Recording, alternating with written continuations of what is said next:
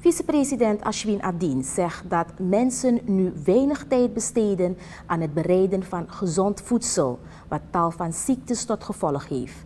Dit haalde hij afgelopen woensdag aan bij de lezing die het ministerie van Landbouw, Veeteelt en Visserij heeft gehouden in het kader van Wereldvoedseldag. Het thema dit jaar is gezonder voeding voor een wereld zonder honger. De vicepresident zegt dat de ziektes die men door ongezond eten kan krijgen variëren van obesitas tot bepaalde soorten kanker. Hij zegt ook dat internationale organisaties zoals de VN en de FAO zich genoodzaakt voelen verandering hierin te brengen. Door onze drukke levensstijl wordt er thuis ook minder tijd besteed aan het bereiden van maaltijden.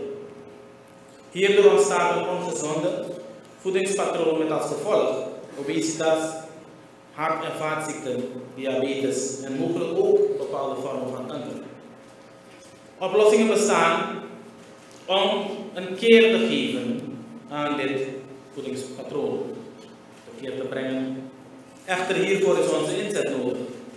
In dit kader heeft de internationale gemeenschap zich voorgenomen om dit patroon zoveel mogelijk terug te draaien door voedselsystemen te transformeren naar aangepaste, gezonde diëten. Vicepresident Adien zegt verder dat ook de Surinaamse regering zich heeft gecommitteerd aan het toegankelijk maken van voldoende en gezond voedsel.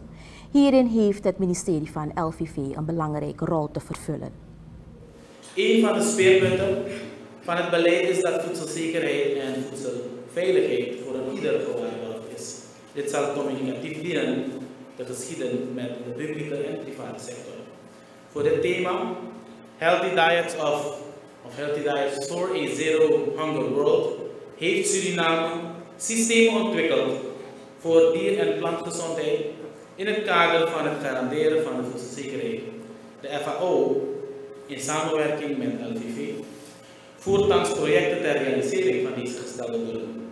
De regering van Suriname zal de realisatie hiervan het ministerie van LVV de volledige ondersteuning bieden. Vicepresident Ashwin Adin. Het ministerie van LVV had op 16 oktober ook een minibeurs en een plantenverkoopdag in verband met Wereldvoedseldag.